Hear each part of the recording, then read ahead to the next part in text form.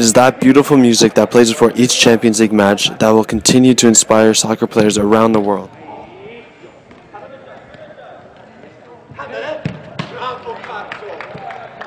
Hi, my name is Anna Pugliese, 20 years old from Toronto, Ontario. I spent the last two years in Italy playing professional soccer for a team by the name of Savona.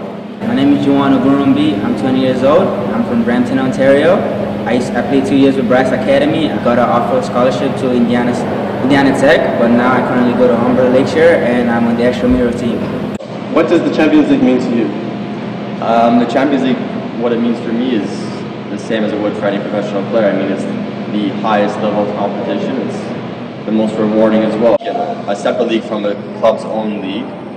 Um, that is what players go for, what they want to win, what they strive for as well. If you ask any professional soccer player, any soccer fan, Champions League is the most important thing for them. It means everything to me, man. Like from this theme song, I even got the theme song saved as my ringtone. So like that's how much it means to me. It means everything to me. Like every, I'm always looking forward to the week the Champions League is coming on, the stages and every group stages, every match. I don't miss it.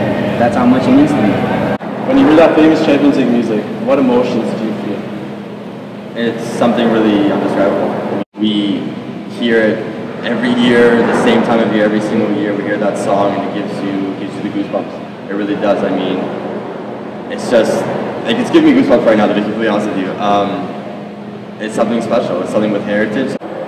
Like I said earlier, like it's, it's just a beautiful thing to listen to. Like I gotta save as my ringtone, so like I have to always listen to it, and it's just amazing. Like the moment you hear it, yeah, you know get those goosebumps and you're just ready to play.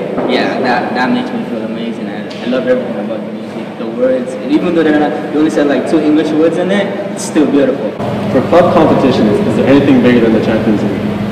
Absolutely not, man. It's everything the player wants to play for. It's everything the coach wants to play for. It's like the best of the best going against each other. So why there's nothing else compared to Champions League. When it comes to Champions League, it's as equivalent as it is for the World Cup.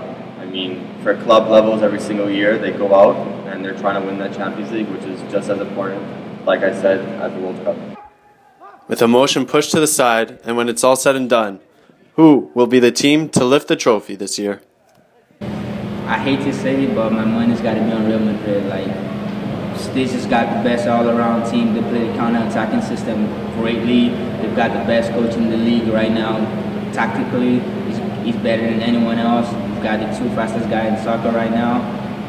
Got Ronaldo. Like any guy who's got Ronaldo, they know like they're going to find the Champions League. And there's like a Bale and got Karim Benzema up top, who's a goal scoring machine. In my opinion, with the teams that there are in the league this year, um, I'd have to say between two clubs, it would be Real Madrid and Bayern Munich. With, with any sport or with anything really in life, experience counts a great deal.